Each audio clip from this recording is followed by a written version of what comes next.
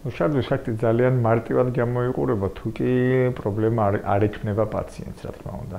თუმცა ეს ასე არ არის, მუშარდოს საკმაოდ რთული რეფლექსური აქტია. მუშარდოში განირჩევა ორი ფაზა, ეს არის ავსების ფაზა, ანუ როდესაც შარდის შარდის ბუშტი ივსება შარდით და ეს არის თვითონ დაცლის ფაზა, ანუ მუშარდის ფაზა კონკრეტულად. ავსების ფაზა ძალიან მნიშვნელოვანია თირკმის ნორმალური ფუნქციონირებისათვის, რადგანაც შარდის ბუშში ამას უნდა იყოს დაბალი ჰიდროსტატიკული წდება, რომ თირკმაში გამოყოფილი შარდი უპრობლემოდ გადავი გადაადგილდეს შარდის ბუშში. რაც შეეხება მოშარდვას, მოშარდვის საერთოდ ეს ეს კიდევ უფრო რთული აქტია, რადგანაც პარალელურად უნდა მოხდეს ერთის ხრივ შარდის ბუშტის პუნქტის შეკუმშვა, რომ რომ გაჩნდეს გამომდევნელი ძალა შარდის გამოსადევნად, მაგრამ პარალელურად უნდა მოხდეს აა სფინქტერების მოდუნება, ანუ იმ მექანიზმების დროებითი ინაქტივაცია, რომლებიც შარდის შეკრებას უწყობს ხელს. აა ნორმაში შარდის ბუშტის ავსების ფაზაში შარდის ბუშტი მოდუნებულია, სფინქტერები აქტიურად მუშაობენ, ამიტომაც ჩვენ არ გვეპარება შარდი, ხოლო მოშარდის ფაზაში შარდის ბუშტი იკუმშება, ხოლო სფინქტერ სფინქტერული მექანიზმი, მექანიზმები შეიძლება ვთქვათ, ამ დროს დუნდება, რაც ხელს უწყობს შარდის ადვილად გამოდენას შარდის ბუშტიდან. აი ამ ორივე ფაზას და ყველა ამ ეტაპს განაპირობებს ინერვაცია, ანუ ნორმალური ინერვაცია აუცილებელი მომენტი არის მოშარვის აქტისათვის. აა მოშარვის აქტში იღებს სამი უბანი ძირითადად გადამწყვეტ როლს. ეს არის თავის ტვინის ქერქი, რომელიც უბრალოდ ახორციელებს ნებითობას, ანუ მოშარდოთ თუ არა, ასე ვთქვათ, როდესაც ჩარის პუშტი ივსება, ჩვენ ხვდებით, რომ პუშტი სავსე გვაქვს და უკვე ვეძებთ უახლოეს დროს და ადგილს, რომ მოშარდოთ. ამას განაპირობებს ტვინის ქერქი, რომ მოშარდის სრულის გაჩენისთანავე არ მოხდეს შარდის დაღურა უნებლიეთ. და როგორც როგორც კი ვახცებ, თქვათ, შესაფერის ადგილს, ანუ როდესაც ადამიანი ხდება ტუალეტში, ზურგის თავის ტვინის ქერქისგან უკვე მიდის, ასე ვთქვათ, განკარგულება, რომ მოშარდის აქტი შესდგეს. ეხლა თუ ძალიან გადაივსო გუშტი ეს რაღაც ესეთი ექსტრემალური პირობები შეიძლება მოხდეს, მაგრამ როგორც წესი, ნორმალური სისავსის პირობებში პაციენტი ადამიანი ახერხებს ამ შარდის შეჭავებას გარკვეული დროით, რომ მოხდეს ადეკვატურ ადგილას, ანუ ტუალეტში და მოჟარდოს იქ. მეორე ცენტრი ეს არის მოდულწო ტვინი, ანუ ზურგის ტვინის დასაწყისი, სადაც სადაც ხდება თვითონ მოშარვის აქტის დროს შარდის ფურცის შეკუმშვისა და სპინტერების მოდუნების კოორდინაცია. აა ესე იგი ეს იმას ნიშნავს, რომ როდესაც აი განკარგულება წამოვა ზურგის თავის ტვინის კერკიდან რომ მოშარდე, ამისთვის უნდა მოხდეს ფინტერების მოდუნება და ჟალის პულტის შეკუმშვა და ეს ამის კოორდინაცია ხდება მოდუზო ტვინში ამას ქვია ეგზესტოდებული ბარინგტონის ბირთვი ქვია. ანუ აი ამ ბირთვში იყრის თავს ეს რომ ზნობელობითი ინფორმაცია რომ ბუშტის ავსეა ასევე ესეთი ისეთი ბუზნობელობის ინფორმაცია, რომელსაც ჩვენ ვერ ვძნობთ, მაგრამ ტვინი ძნობს, ანუ რომ შარჯის ბუშტის პუნქტის ბოჭკოები გადაჭიმული, ანუ ის რეაგირებს არა წნევაზე, არამედ მოცულობაზე, ანუ როი გაიჭიმა. და ეს არის ერთ-ერთი მთავარი აი ეს სპეციფიური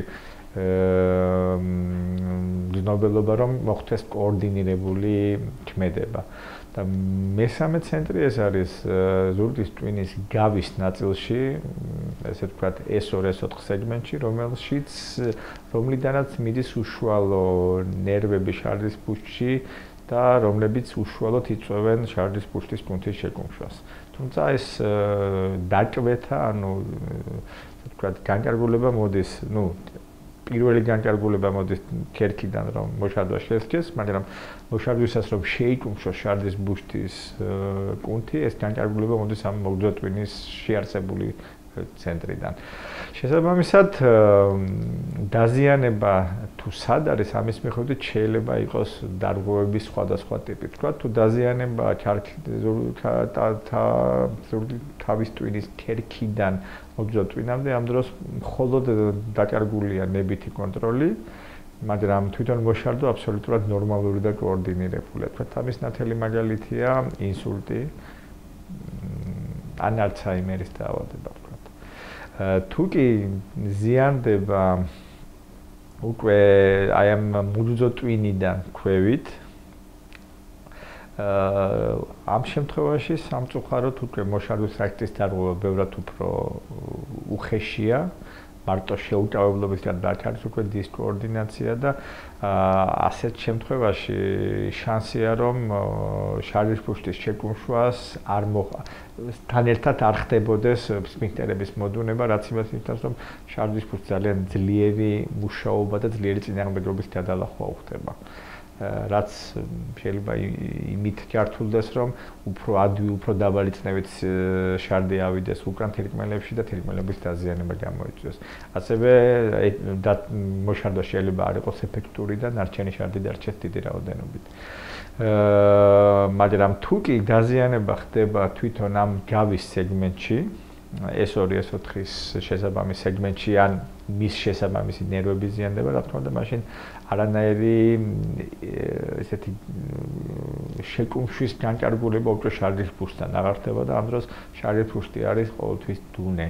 ანუ იქ არანაირი კუმშადობა, მხოლოდ რაღაც ავტონომიური, თორე არანაირი რეფლექსური შეკუმშვები აღარ აღენიშნება და ვთქვათ, თუ კი დაზიანება ხდება ან გავის სეგმენტის ან რაშის ფუძეს, რა თქმა უნდა, ამ შემთხვევაში ადგილი აქვს ესეთ დუნე შარდის ფუშტის არსებობას.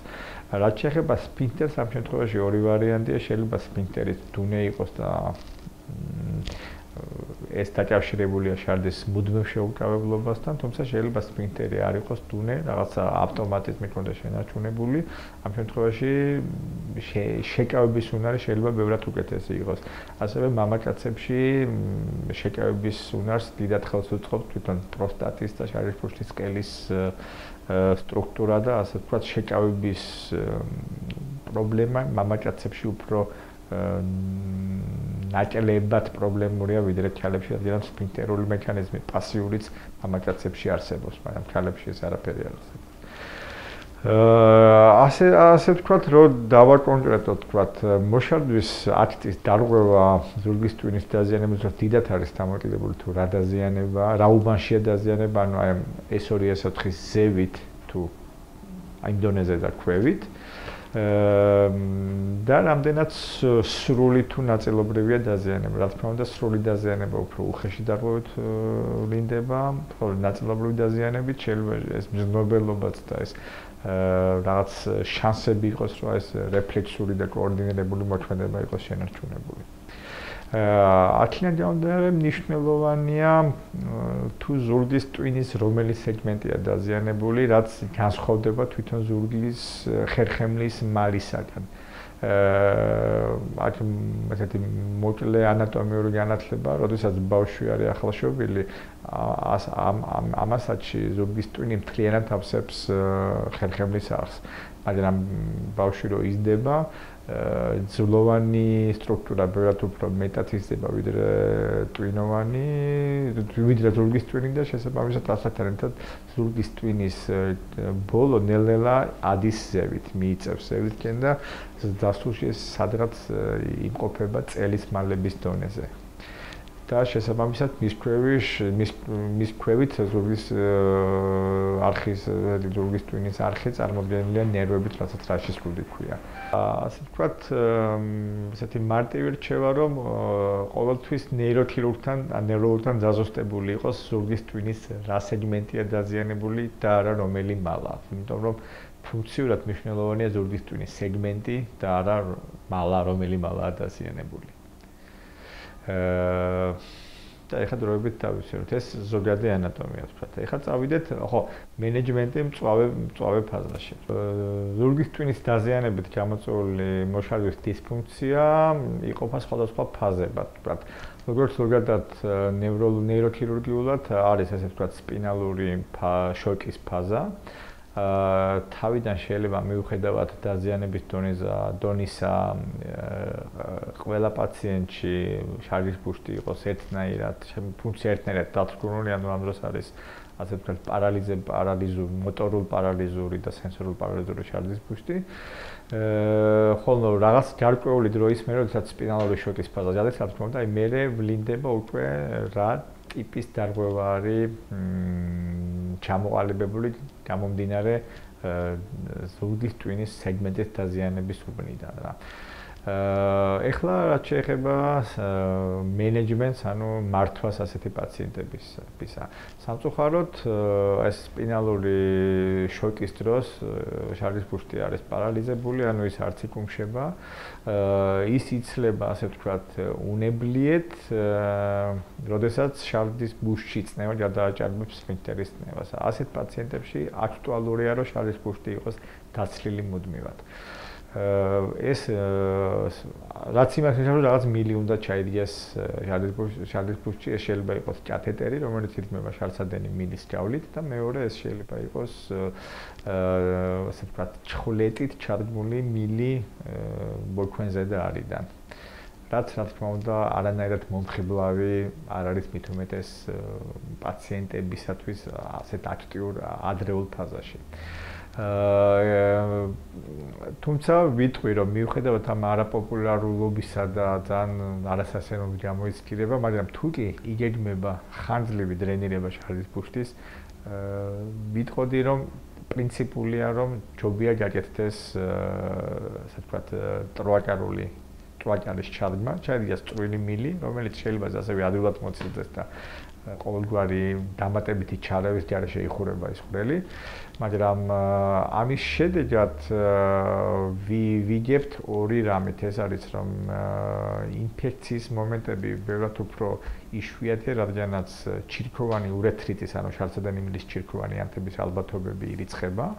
და მეორე ის რომ ხანძრივად მილის არსებობის ხანძრივად უცხოს ხეულის არსებობის და გამო შარცადელ მილში რაღაც ალბათობებია რომ მოხდეს ამ შარცადელი მილის შევიწროების განვითარება.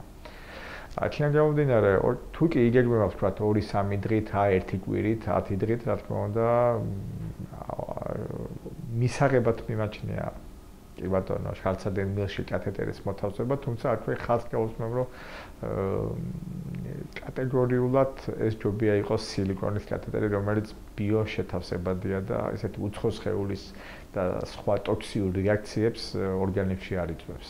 მაგრამ თუ კი არის მაგრამ თუ კი არის რეანიმაციული პაციენტი, ანუ ეს ძირითადად ეხება მაღალდაზიანებებს კისერთან ახლოს, ასეთი პაციენტები ხანძრივად საჭიროებენ რეანიმაციულ განყოფილებაში ყოფნას, ინტენსიურ კურნალობას, ინტენსიურ ესეთ შესაბამისად და მათ დიდხანს სჭირდებათ რამდენიმე კვირა და რამდენიმე თვე ასეთ პაციენტებში მე ვიტყოდი, რომ გეგმიერად პირველივე დღეებში დაიგეგმოს ტროაკარის მოთავსება, რადგანაც ამით ისე და ისე ვიცილებთ ჩირქოვანი ურეთრიტის განვითარების ალბათობას, რაც არის ყველაზე ხშირი მიზეზი, ერთ-ერთი ხშირი მიზეზი სეპტიური მდგომარეობების ასეთ სპინალურ პაციენტებში და მეორე მომავალშიც ავიცილებთ თავიდან ურეთრის სტრიქტ შევიწროების განვითარებას.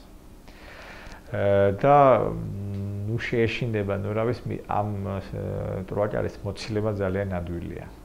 ხა ბევრგან მინახე რომ ვიამენ ოპერაციას, მაგრამ მაქრო ვიტყოდი რომ ოპერაციული ჩადგმა აუცილებლად არ არის არანაირად აუცილებელი, ეს უნდა მოხდეს ტროაკალის მეშვეობით და ასევე იმასაც ვიტყოდი, რაც უფრო დიდხანს მიმდინარე რეანიმაციული პაციენტებია შემდეგ ამ ტროაკალის შესრულების დროს ჯართულებების მეტი რისკია და ესე ესე თუ კი ეს არის ძიმე პაციენტი შესაძლო დიდხნიანი ინტენსიური მკურნალობით ჯობია პირველივე დღეებშივე დაიგეგმოს ტროაკალის ჩადგმა. და ისევ და ისევ ასეთი რა რეკომენდაცია იქნება ასეთი ასეთი პროფილით რეანიმაციებისათვის რომ კათეტერი იყოს მხოლოდ სილიკონის ნახმარი და სხვანაირი უბრალოდ ამოღებული იყოს ხმარებისგან ასეთი პაციენტებისათვის. აა ანუ მწვავე პერიოდში ეს არის მხოლოდ შარდის დრენირება, მეტი არანაირი მართვა ამას არ უნდა, თუმცა ამ შარდის დრენირებით მაქსიმალურად უნდა იყოს აცილებული ერთ-ერთი ხმ ინფექცია, რაც უხშირესად ეს არის ურეთრიტი ჩირკოვანი და ასევე უნდა იყოს აცილებული მომავალში განვითარებული ჯართულებების ხელშეწყობი ფაქტორები.